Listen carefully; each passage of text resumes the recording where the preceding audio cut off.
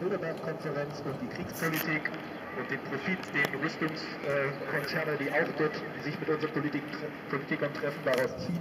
Dann möchte ich kurz das Thema ähm, ja, Flüchtlingskrise, ich möchte es eigentlich gar nicht mal Krise nennen, ansprechen. Äh, erleben, dass Kriege der NATO-Staaten ganze Regionen im Nahen Osten destabilisiert haben, Menschen im Bürgerkrieg leben müssen.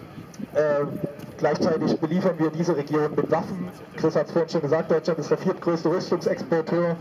Ähm, und wir wollten parallel dazu den globalen Süden enorm aus, was auch Fluchtgründe natürlich immer weiter verschärft. Und ich frage mich, wo bleibt die Debatte über diese wirklichen Fluchtursachen momentan? Alle reden von Kapazitätsgrenzen und dies und das, in, also in allen Bereichen der Welt, was ich an sich schon absurd finde.